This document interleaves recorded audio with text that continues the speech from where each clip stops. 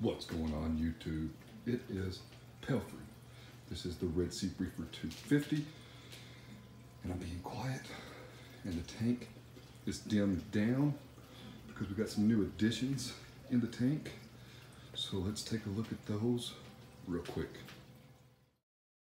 I did pick up some fish from Live Aquaria and if you're new to buying anything saltwater related, livestock related, then you float the bags in the tank or the sump if you have one to temperature acclimate them. And the good thing about Live Aquaria is they do put uh, the fish in a dark bag, but I always turn the lights off to uh, not shock them anymore.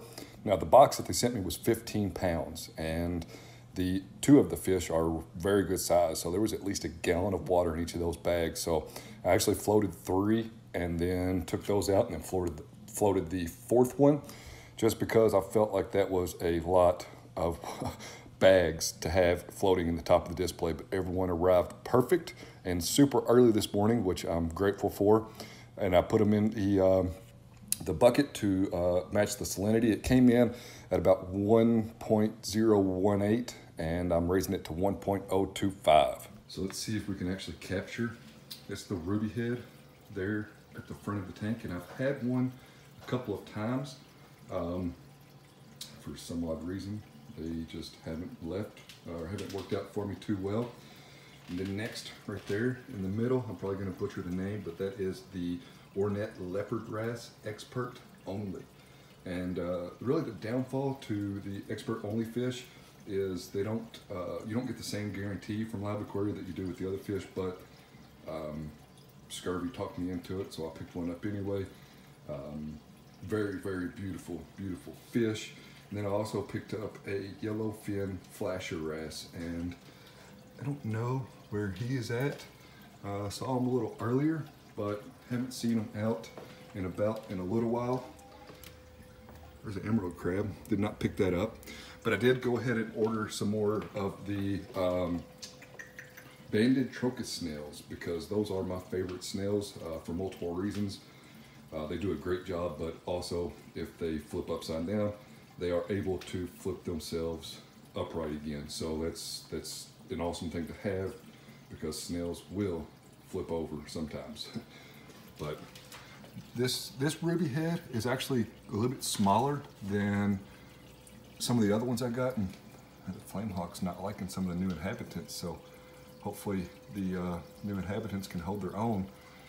And I'm trying to sneak up to the tank picking at the rocks.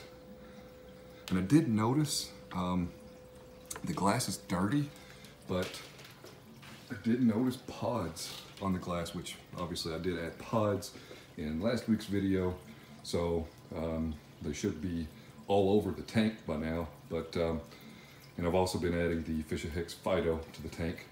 But man, I'm loving, there is nothing better than wrasse wrasses. Watch your wrasses. But as far as the corals are concerned, they are not opened up for the most part because I've had the lights either off or super, super dim all day long.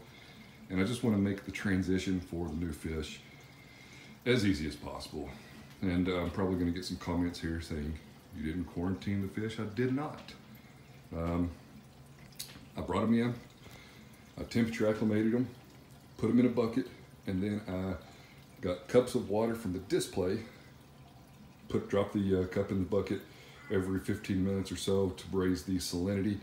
Um, they come in in a lower salinity and I wanted to raise them to 1.025, which is where my tank is. Just real quick looking down here.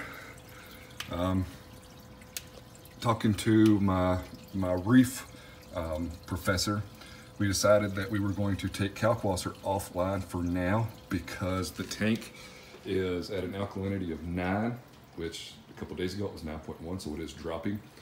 The um, phosphates are at like 0.37 now. The nitrates are still on like a low range Red Sea test kit at like 4. Salinity is 1.025. Um, but with the low nutrients in the tank, we decided to take the Kalkwasser offline for now. I'm gonna let the alkalinity drop to like eight, and then I'm gonna reintroduce Kalkwasser to the tank. So I'm taking this opportunity to run vinegar and water through the dosing tubes and I stopped the pump here so you could see um, right at the tip of my middle finger there. I'm not flipping anybody off, don't worry, but right at the tip of my middle finger is, and to the left there is Kalkwasser. So I'm gonna set the, the uh, timer up on the dosing container, doser up, here, the Kamoer X1, just to run its normal schedule and just clean out the pump head, clean out all the tubing, get all that gunk out. It's a perfect opportunity. And I've just taken the um, dosing tubes off the sump to hold the lines down. That's gonna work out very well for me. Nothing changed in the sump area.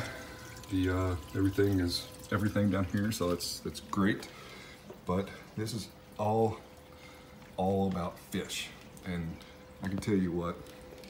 Like I said earlier, the the wrasse fish. I mean, I know that it's not coming up great on camera. This guy. Let me turn on the Aquarium Cam app and record some video and see if I can get a better view of them. All right, now we're in the Aquarium Cam app and it's auto adjusting, but I'm trying to follow him around, but he's beautiful, beautiful. Just out swimming about. There's the ruby head wrasse and yep. Flamehawk does not like the new addition. I didn't know flamehawks were aggressive, but apparently any fish can be somewhat aggressive at some point. But yeah, like I said, this is the Aquarium Cam app. I paid $3 for it. It's worth it. It's auto adjusting to the lights right now. Let's see. Beautiful fish. Beautiful little guy. All right, folks, that's going to be it for this video. It's a little bit shorter uh, than most of my other videos, but I'm not going to ramble on anymore. Appreciate you following along as always. Be sure to check out the website, be sure to follow me on Instagram because honestly, these videos are like six weeks behind what Instagram is. I just tend to uh, record a bunch of stuff, upload it in the um, the appropriate order, and then publish them as needed. So be sure to check out Instagram. Be sure to look up Devoted Reefer and check out the build thread on Reef to Reef. You can also go to there and find real-time updates. But anyway, I'll catch you on the next one. Appreciate you following along. Have a great day.